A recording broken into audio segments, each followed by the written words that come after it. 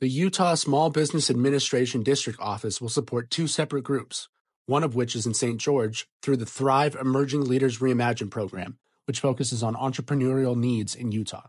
And the Small Business Administration has launched targeted initiatives for growth in St. George. The Thrive program has successfully trained nearly 9,000 entrepreneurs, leading to the creation of over 11,000 jobs. It also has played a role in facilitating almost $1 billion in new funding.